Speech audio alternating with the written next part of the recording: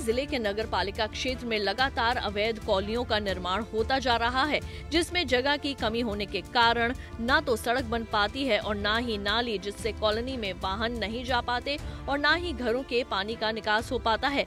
कभी कभी अगर किसी मकान में आग लग जाती है तो फिर वहाँ फायर ब्रिगेड भी अंदर नहीं जा पाती।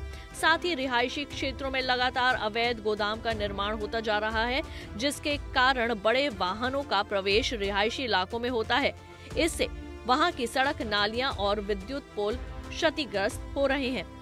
इस हद तक लापरवाही सामने आने के बाद भी जिम्मेदार चेतन को तैयार नहीं है। हालाँकि मीडिया के हस्तक्षेप के बाद उन्होंने कार्रवाई की बात ज़रूर की है। सीधी शहर में, सीधी जी शहर में कहा जाए तो लगातार कॉलोनियाँ जो बसाई जा रही हैं, वो नियमों के आधार पर नहीं है। जहाँ संकीर्ण रोडें बनाई जा, संकीर्ण रोड रोड नहीं बनाई जा पाती है, उसके लिए क्या कार्रवाई करेंगे आप? देखिए, ये अवैध कॉलोनियाँ पूर्व से ही हैं यहाँ।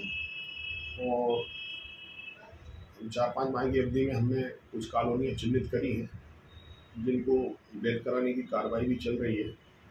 साथ ही जो अवैध रूप से जो गोदामों का निर्माण हो रहा है, या आपके जो मैरिज गार्डन बने हुए हैं, जिनकी वजह से आवागमन प्रभावित हो रहा है।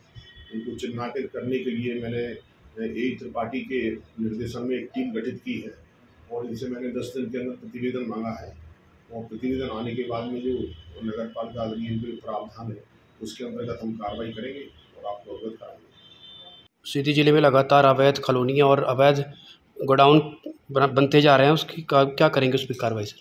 अवैध कॉलोनियों का तो जो कॉलोनाइजर नगरीय क्षेत्र में नगरीय क्षेत्र यहाँ बहुत बड़ा है नहीं तो नगरीय क्षेत्र में नगरीय कॉलोनी अधिनियम प्रचलित है ग्रामीण क्षेत्र में ग्राम पंचायत कॉलोनाइजर अधिनियम प्रचलित उसके अतिरिक्त तो उनको बाईपास करते हुए अगर कहीं पे भी है तो हम चिन्हांकन करने का प्रयास कर रहे हैं। नगरीय क्षेत्र में पाँच छह का हमने चिन्हांकन किया है जिनको कि हमने सूचना पत्र भी जारी किया है।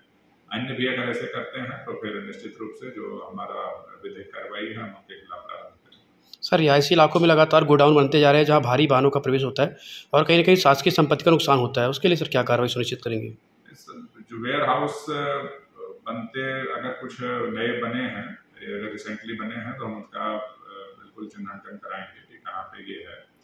और उसमें अगर नो एंट्री जोन के समय अगर भारी वाहन अगर जा रहे हैं तो निश्चित ऐसे क्षेत्रों में हम और प्रतिबंध लगाएँगे।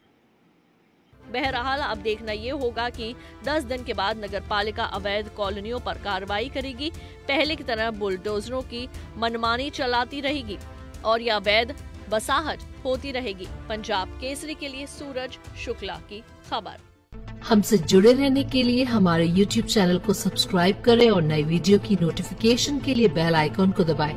अगर आप ये वीडियो Facebook पर देख रहे हैं तो लाइक ज़रूर करें और ज़्यादा से ज़्यादा शेयर करें। धन्यवाद।